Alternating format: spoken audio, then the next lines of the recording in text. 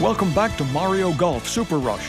Players from all over the Mushroom Kingdom are competing to see who will emerge victorious. Mario with a tough shot. And he cuts it beautifully around that boulder. The play today is superb. Oh, he stitches it! Over to Wario. This might work. Bowser is taking a close look at this one. It's a tricky green.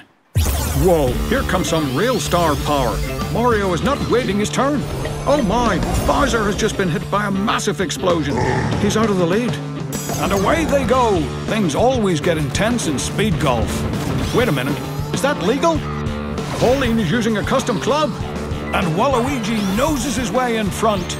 But wait, here comes Yoshi. He's literally crushing the competition. Is this still considered golf? Master your swing and bring on the competition in Mario Golf Super Rush. Rated E for everyone, only on Nintendo Switch.